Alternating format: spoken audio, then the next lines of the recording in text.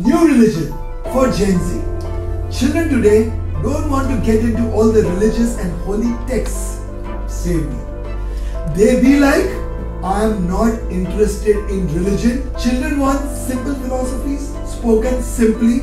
So I have an idea. Hear me out. The biggest science of forgiveness came from Jainism.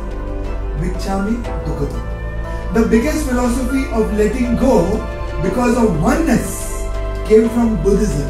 The philosophy of blessing a perpetrator who violates you came from Christianity. The philosophy of good thoughts, good words, good deeds came from Zoroastrianism.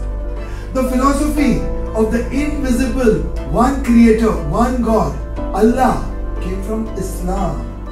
The philosophy of liberation and salvation through refinement came from Hinduism. All religions have their uniqueness. Why can't we use the best of all?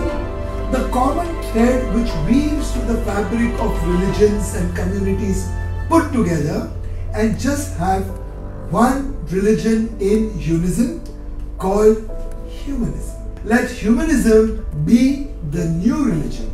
Let there be one community, only humanity.